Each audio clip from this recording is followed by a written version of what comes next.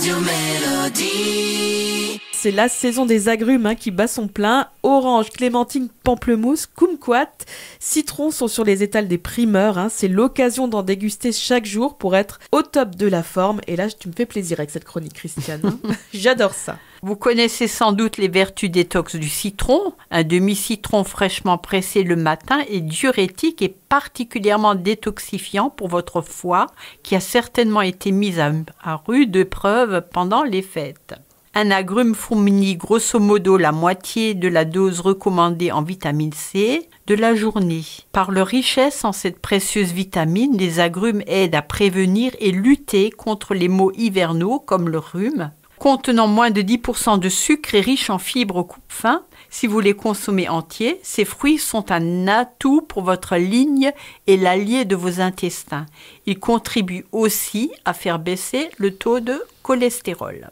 Alors, je ne le savais pas, mais c'est bon aussi pour la santé de nos os. L'orange notamment contient beaucoup de calcium et en plus euh, c'est un calcium qui est parfaitement biodisponible.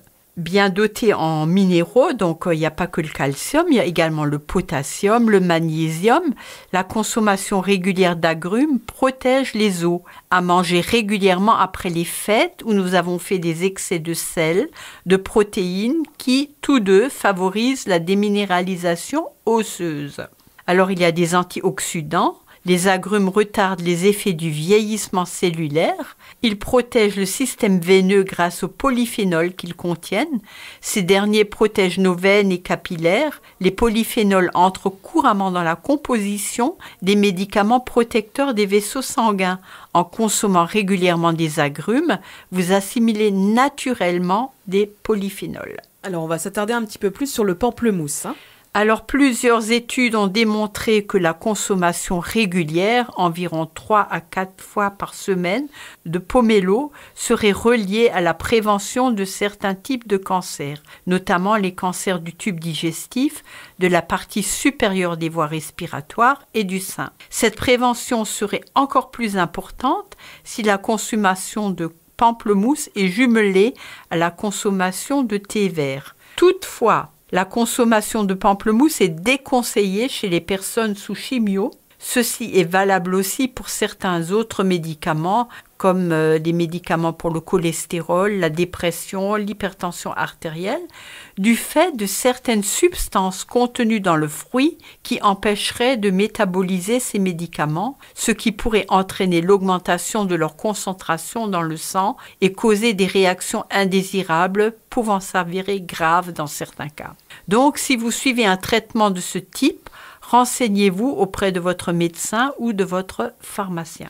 Et là, c'est ma petite chouchou. hein. J'avoue, euh, Christiane, c'est la clémentine. hein. Ah, Je l'adore. aussi, surtout celle de Corse. Ah, évidemment. Hein Alors, la clémentine est parfaitement bien tolérée, même par les personnes ayant un système digestif délicat.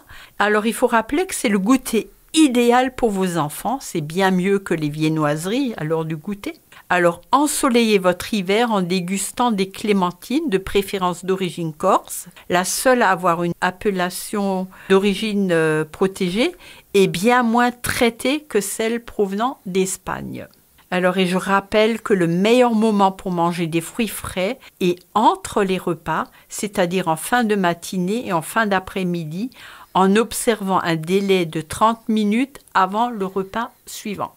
Hum, merci beaucoup, Christiane, pour cette euh, chronique tout en gourmandise et fruitée. On se dit à la semaine prochaine. À la semaine prochaine et portez-vous bien.